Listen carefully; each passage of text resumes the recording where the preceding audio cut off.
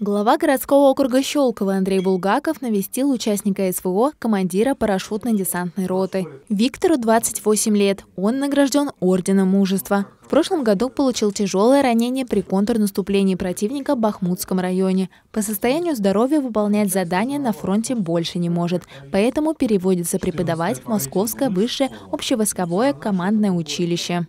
Глава округа Андрей Булгаков и Виктор обсудили дальнейшее обучение по президентской программе развития для участников специальной военной операции «Время героев». Дочь Маша гордится папой. Он посещает школьные мероприятия и делится историями о смелости и отваге своих товарищей. Виктор также показывает ребятам видео, снятые в зоне СВО.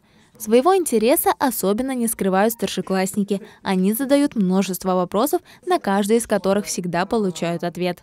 Глава поблагодарил Виктора за активность и отметил, что патриотическое воспитание благотворно влияет на развитие ребят.